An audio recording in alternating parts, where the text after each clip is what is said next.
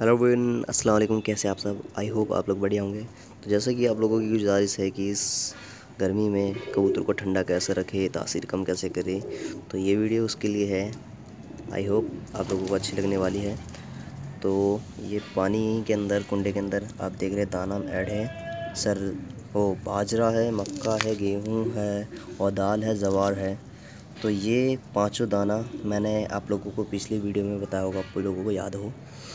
तो कुछ लोगों की गुजारिश होती है कि मैंने जैसे बताया था कि दाना ख़राब आता है और ठंडक के लिए तो ये सबसे बेस्ट ऑप्शन है।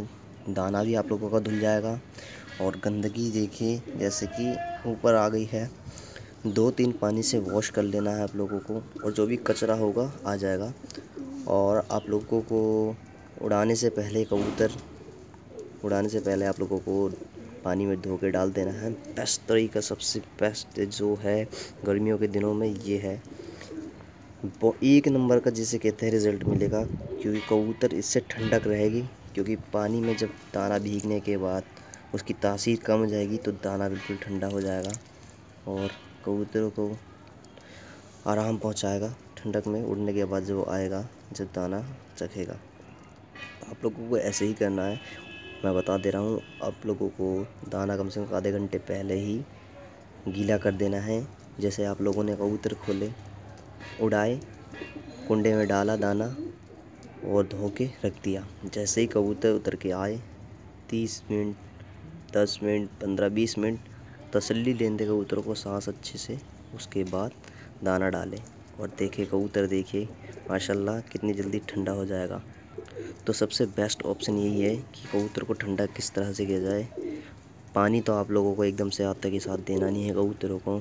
नहीं तो कबूतर के चांस ही बचने के बहुत ज़्यादा है, क्योंकि कबूतर को एकदम झटका लगता है।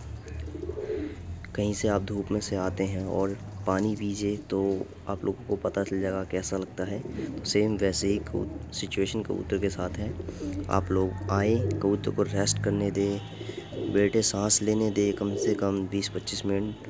उसके बाद आराम से दाना देने के बाद लास्ट में बिल्कुल पानी देना है कि कबूतर की बिल्कुल तासीर ख़त्म हो जाए उड़ने के बाद जो आए। तो ये जो बेस्ट ऑप्शन है सबसे बढ़िया। उसके बाद कबूतर ठंडक हो जाएगा।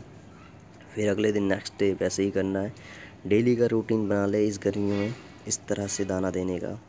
देखिए माशाल्लाह आपका कबूतर कहीं न जाने वाला और कितने अच्छे तरीके से उड़ेगा, आप लोगों के सामने बहुत ठंडक भी रहेगी। जो मुँह फाड़ना, मुँह फाड़ता रहता है, वो भी कम करेगा इस दाने से।